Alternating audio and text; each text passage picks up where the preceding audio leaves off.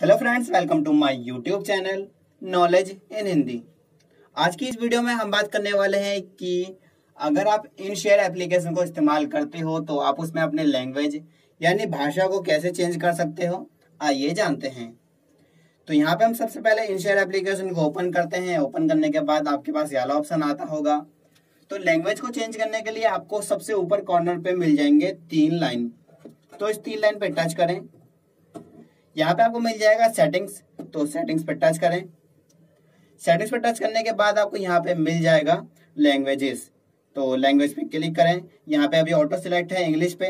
तो यहाँ पे आप हिंदी भी कर सकते हैं तो मैं इसे हिंदी करता हूँ।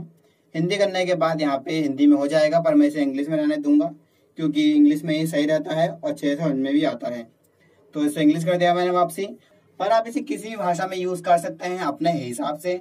वीडियो पसंद आए वीडियो को लाइक करें और चैनल को सब्सक्राइब ज़रूर कर दीजिए।